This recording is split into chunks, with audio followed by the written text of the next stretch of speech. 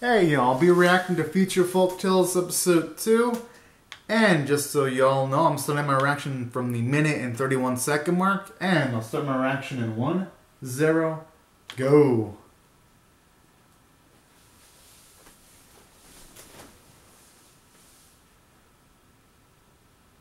Hmm. It's pretty cool to get a grasp of the advancements of their tech, actually. Although that's the thing that I'm just wondering, why do they have to recap her sp- name specifically, though? We already knew her name from the previous episode. Kind of feels like a forced exposition dump there. But I do like the interaction between her and her friend, though.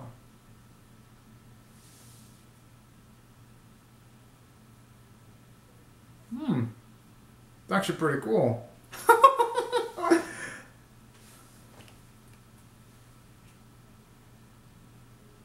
hmm.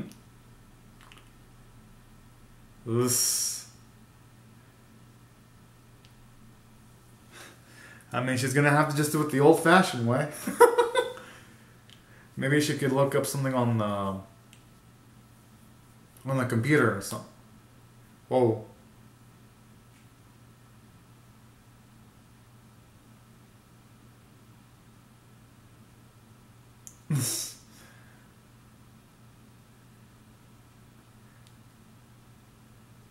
She's gonna have to be patient.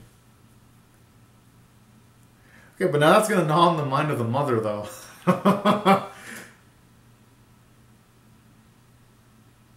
Whoa. Actually, I like that. Actually, seeing more of her characters interact with other characters is nice.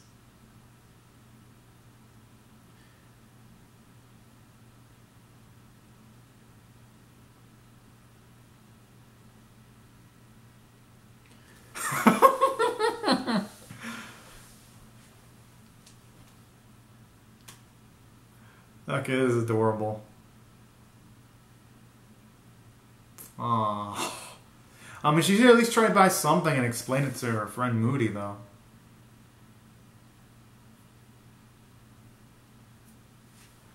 Ah, she should have at least got something else, though. That would have been the best choice.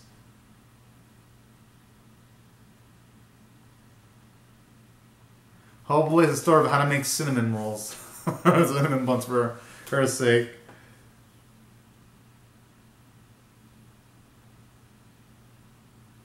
Well, yeah, maybe it'll actually be something that will help her on current situation with Moody.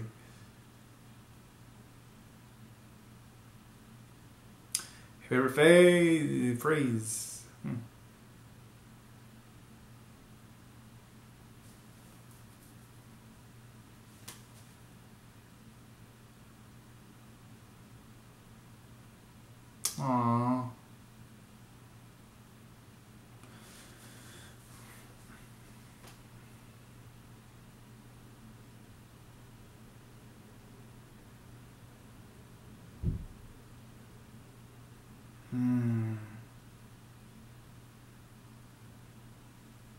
I can just feel the edge radiating from the man's soul. oh, who knows?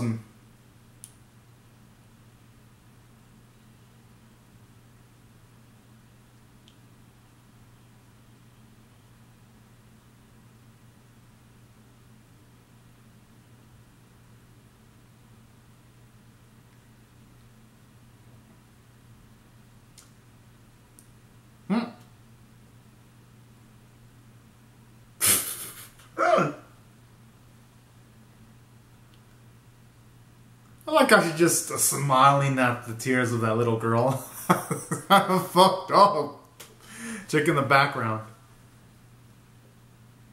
Oh. Alright. Actually nice. Nice way of looking at it there.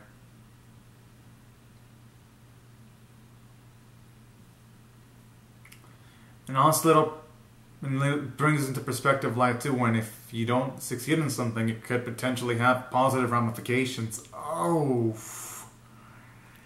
yeah he's gonna feel the honest gluteus maximus for quite a few hours are the best. I understand the ants eating the cookies, but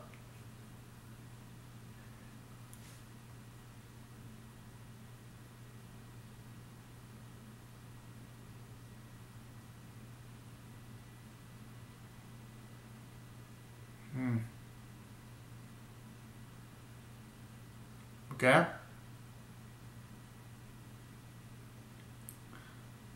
I mean, I guess that's a somewhat positive way of looking at things. That it couldn't have been worse. I guess you want him to look at the at the glass half full instead of looking at half empty. Although I could see why he would misunderstand that.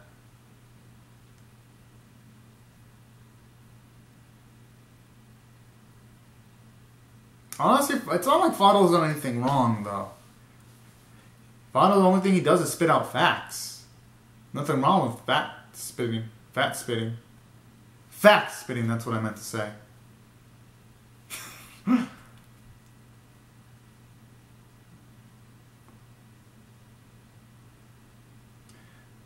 Whoa!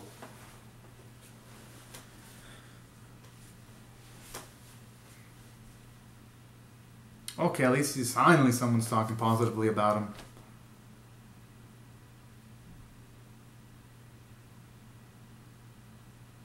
Huh?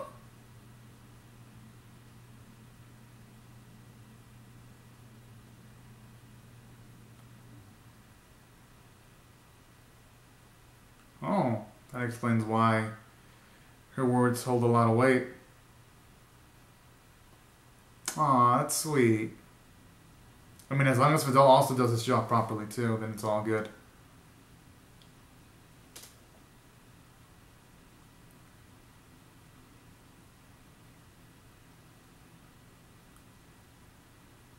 Have a feeling someone's gonna conspire against Fidel to make him lose his positive image. Yeah.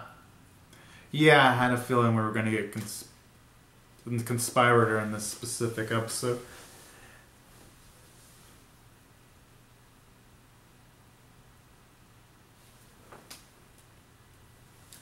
I mean, wouldn't blame him when someone close to you is betraying you that much. It would make anyone take pause.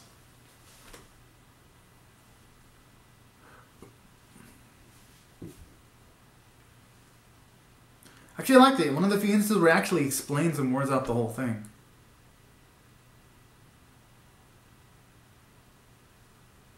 Oh. God, talk about things getting dark pretty quick.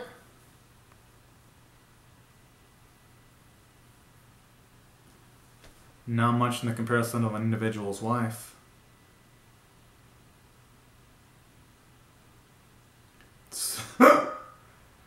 okay, yeah, that could actually be taken up to interpretation.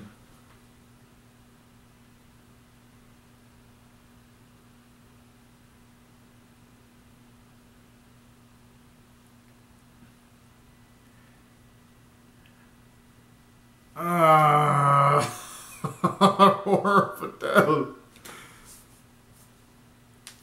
And they're gonna probably put it in Fidel's house. I have a feeling. Just to pin the blame on him. That's what's exactly gonna happen. Yep. It's gonna be in Fidel's quarters. Yeah. Oh, it's just a it's just a physical trinket, though. Don't say it's for the best. Please don't. Please, I want you to say damn it. Don't say it. No! Oh, you gotta be joking. Oh my goodness. Oh man, he's gonna incriminate himself potentially.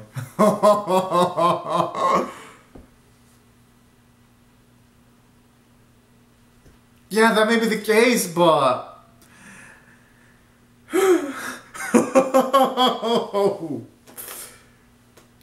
yeah.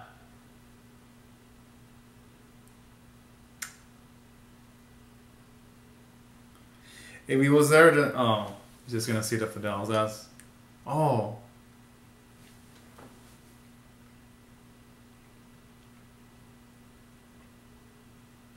Yo, you know, Fidel's badass just to still be in that situation like a boss.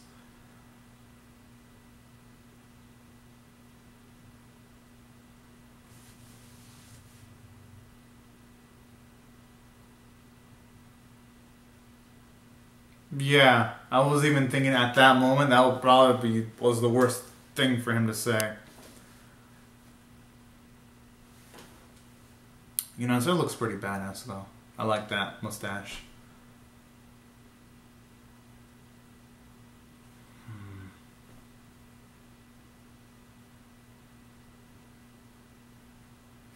Oh.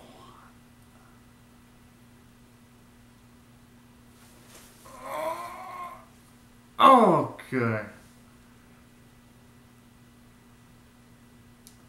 One of the few instances where I don't mind bad animation because I don't think I would have been comfortable seeing a kid just get smacked in the face with the horse. That just enough to imply he got hit in the face. So I actually like that sense of um, storyboarding and direction there.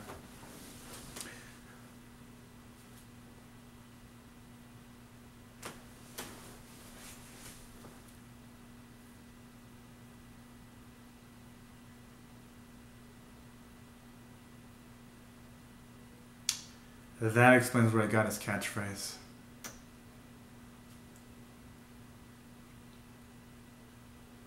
Well, that's probably the start of where he got his catchphrase. Oh.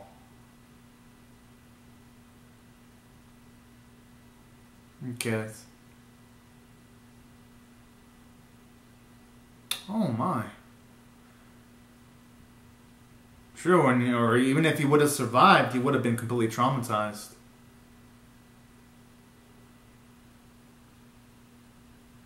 Oh, so that's where he got it.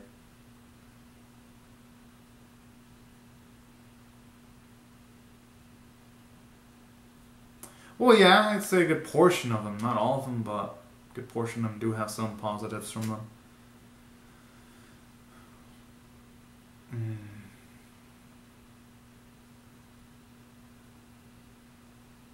You know, that's even a positive message that can be taken. That can also be like taken in today's climate too.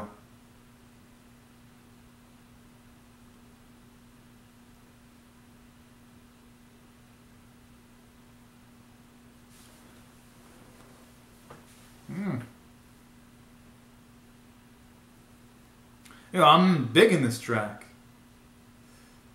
oh man, I hope that guy gets arrested for blaming our man Fidel. Man.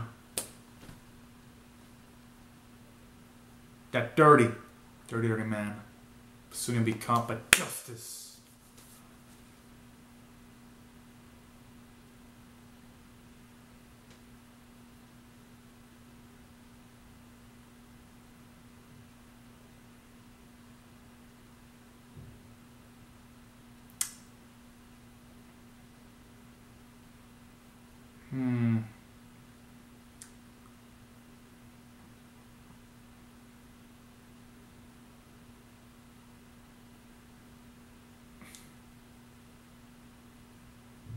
Yeah, this feels like a trap.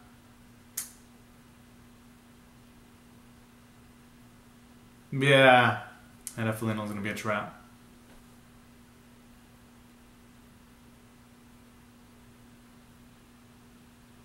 Should have believed Fidel.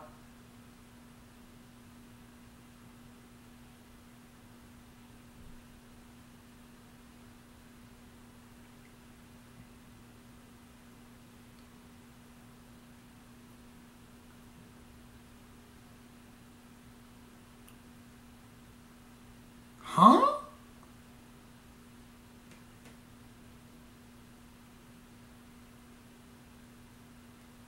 Aw. Okay, now that's going way too far. Whoa! Okay, then actually, him actually challenging his own moral code is pretty, pretty interesting.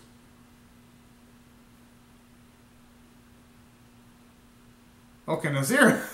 Oh man, he's a man with guts.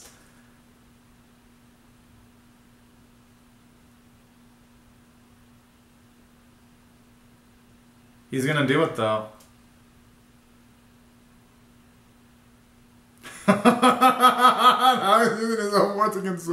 father. Oh my. I like that bit of character moment though. Because he wasn't so entwined with those words at the start, but then seeing all the circumstances that are occurring now, he's living by those words too, just like his father did.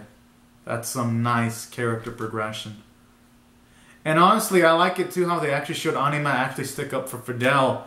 So this actually makes it kind of tense because, at least for me, I actually care a little bit about Anima too for the small amount of times he was shown. It's actually pretty cool.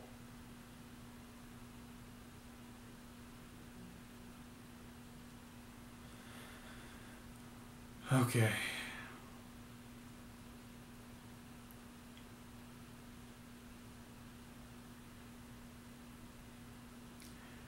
And gotta say, the Amina's brave for, for actually um, wanting to risk herself in this situation too.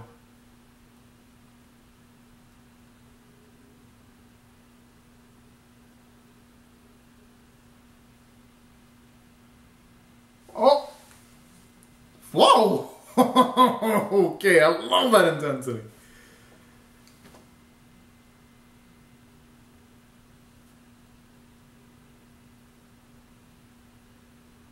Okay. Smart.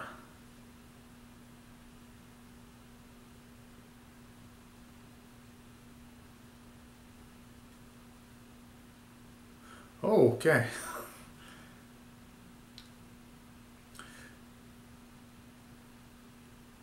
Quick thinking, so I'm assuming he's gonna light up a match or a torch or something to burn that man's boat right before the exchange.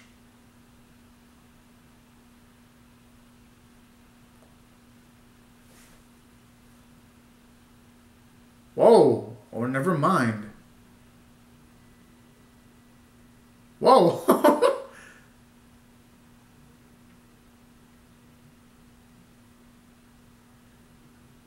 Hopefully, as the trap activates.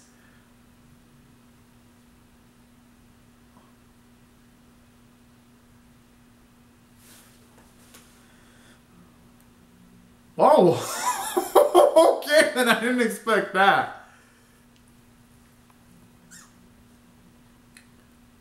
Whoa! Anima.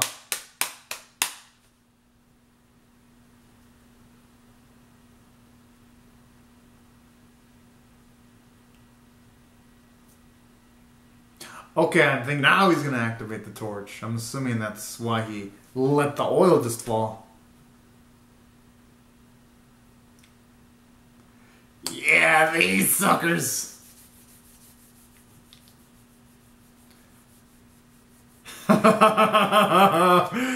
he won't be laughing. That evil man won't be laughing anymore.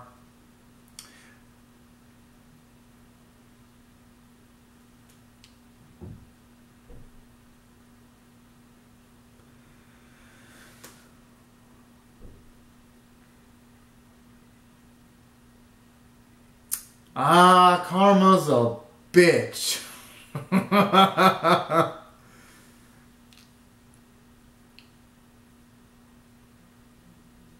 I would have loved to have heard screaming, but hey, just seeing the boat burn down, I'll make actually makes me happy.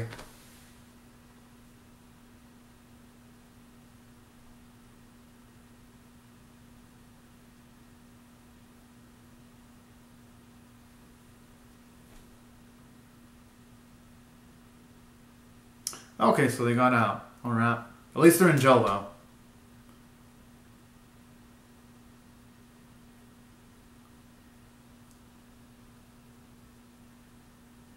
I don't think it's his fault though.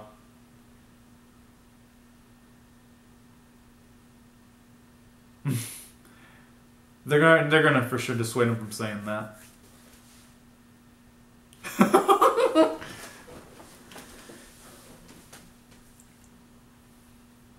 his daughter.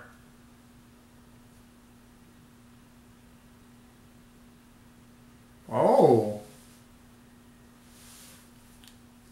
Oh. okay, actually, well, that would actually be pretty fitting. Yes! Hey, he earned it. he should. yeah, he's earned it.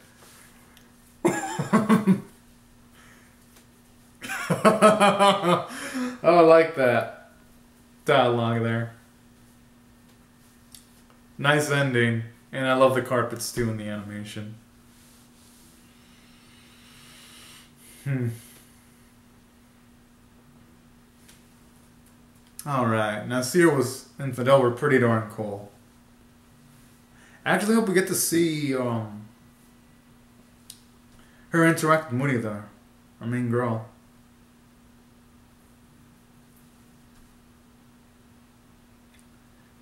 I mean, there is, I don't know the equivalent, but there's to be an equivalent of YouTube there to use.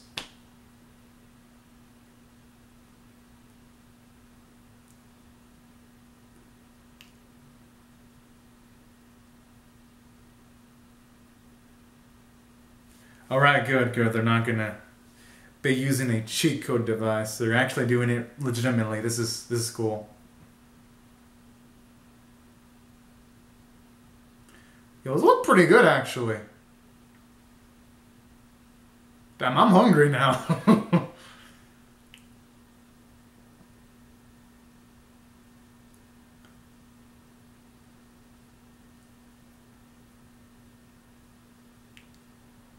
Damn, I'm gonna have to look at the recipe on how to make those cinnamon rolls eventually.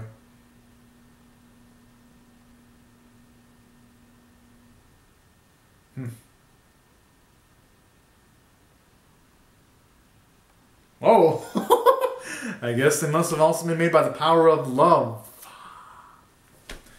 That's probably why they taste pretty good.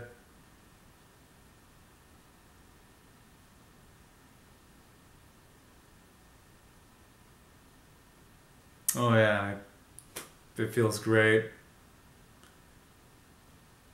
Oh, okay, I like how she leaves that line.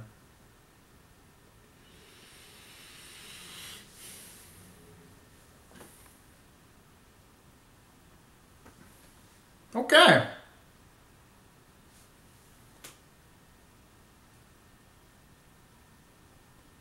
I actually like this more than the first episode by by just a bit though. I'd say on the scale of like one to ten, with one being abysmal, ten being exceptional, five being average. I thought this was a solid seven point two five out of ten episode because I love the story in the first episode, but what kind of dragged the first episode a little bit was like the like when they were just doing forced explanations about the tech in their setting where it kind of felt like an exposition dump instead of natural dialogue here it didn't have that issue and you only had that forced exposition once when maha mentioned her name again because i'm like i already knew your name from like the first episode at least i remember it And then they mentioned it quite a few times in this episode specifically too. So it's like you didn't need the exposition dump from the very get go. So um, that's the reason why. That's the reason why I like this episode a bit more. Although when it comes to like the story itself with Fidel versus Sarags, I actually liked both of the stories equally. But when it comes to like the non-story portions, I like I like this second episode's version more. It was like more competently done. And since the animation wasn't didn't have competent ambitions like the first episode, any animation flaws, they were not visually apparent. So that's another thing I gotta I gotta look at too. And that is why I rate this specific episode higher than the first one. And I thought it was above average. And I'll definitely be reacting to the third episode because I'm actually yeah, I've actually been really digging what this what the series has been doing recently. So, anyways, and I also love the character development with Nasir too, where he took up the phrase of perhaps it's for the best. I really love that and all that.